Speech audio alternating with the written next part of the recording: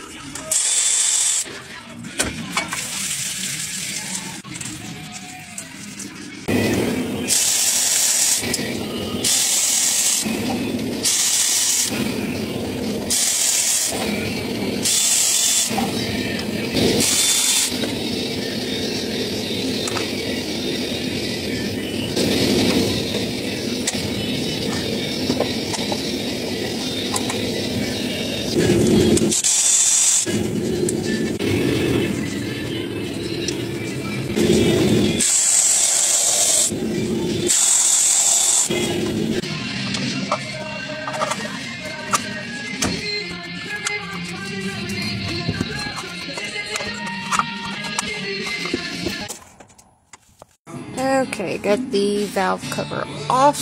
Yes, it's gummed up. We know this. It's an old truck. And got the lifter panel off.